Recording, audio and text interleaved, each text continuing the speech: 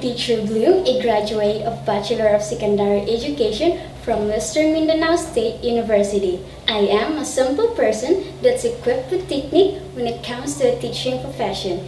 I can enhance the instructional materials just to make learning meaningful not all, but also fun. I am here in QQ to impart my knowledge and spread English. So if you want to learn more about this language, feel free to book in my class. See you!